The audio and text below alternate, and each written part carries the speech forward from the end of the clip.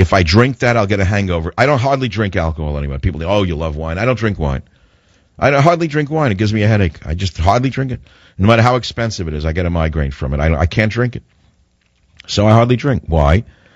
Well, now the drug company would say, there, there now. You can drink. Just take a powerful pain reliever when you drink.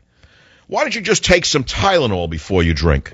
Why, that would mitigate against the headache that you might get afterwards. Yeah, it would, definitely. It would also increase my risk of a liver, liver collapse and a need for a liver transplant and possibly a kidney collapse and then a need for kidneys. So, so no, I'm not going to take Tylenol while I drink.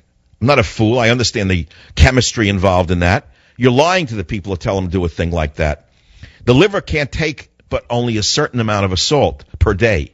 So if you assault it two or three times at the same time with toxic toxic substances like alcohol and Tylenol or alcohol and aspirin, you're you're overpowering the kidney's ability to deal with it. It's only a poor little it's, a, it's only a poor little package of protoplasm. Has a huge job in America.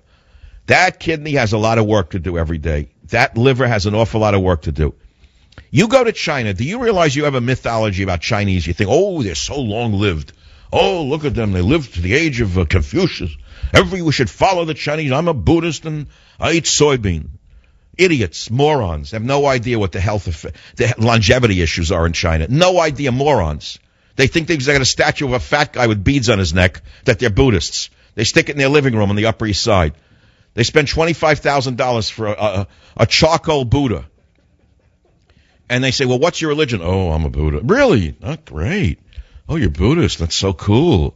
What does that mean? I don't know, but I'm a Buddhist. The real Buddhists laugh at them.